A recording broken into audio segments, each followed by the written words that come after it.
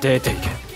王族であるメルティを拒絶し波を共に戦いたいというエイクをも試すような振る舞いを見せるナオフミ。次の波に備え準備を進める中ラフタリアやフィーロのクラスアップを検討するもナオフミたち一行には許可されない。波への対策を講じるため国のあちこちを歩いて見て回るナオフミたち。そこには難民として苦難にあえぐ人々たちがいた。次回「混迷の中で」直文様はもう少し人を信じてもいいのでは？